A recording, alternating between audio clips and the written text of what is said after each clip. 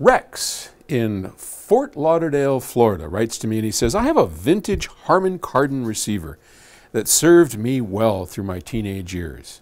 I'm an old fart now, he says. me too, Rex. One of the uh, things I really got into at the time was the Harman Kardon's uh, assertion that their equipment could produce an undistorted square wave. My understanding of square waves is that they reveal almost any imperfection in the signal path phase distortion, noise, uneven frequency response, uh, those and more. What is your opinion on square waves? Well, first off, we don't listen to square waves. We listen to modified sine waves. But square waves are a critical design tool in amplifier design. I, I, when I design, or when I used to design, I don't do it anymore. I kind of miss doing that actually. Got all these young hot rods like Darren Myers and Chris and Bob Stadtherr. Oh, he ain't young anymore. And they're doing all the, the fun design stuff. I get to be CEO. woo woo. Um, anyway, don't get me going.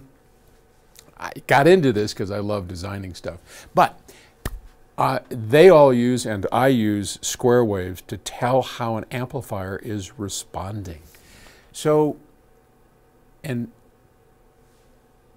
a square wave is a combination of sine waves from high, high sine waves, high frequency sine waves to low frequency sine waves, whatever the fundamental of the square wave is. So it's, and they're all pretty much odd harmonics. So third, fifth, what is it, seventh, ninth. Um, and you just, it, it's just got all these sine waves and together they make up this square wave. And if you can, a square wave is literally a square wave. It goes from zero up to some point, straight across and over. But it almost never looks like that in an amplifier. So a square wave will tell you a lot. For example, if you have a amplifier you're designing with, oh, a lot of feedback to it, or with um, uh, any number of things going on that from a sine wave standpoint looks really good. You put sine waves in, you get low distortion, everything's good, frequency response. You put a square wave in, what do you see? All of a sudden, ringing. You might see a huge a big overshoot at the very beginning of the square wave, and then straight through, and then maybe some ripples in the square wave. Looks like dog do. Aha! Now you know that despite the fact sine waves, and we listen to sine waves, are low distortion, full frequency response, there's something else going on in that amplifier that really needs to be addressed. Or the opposite.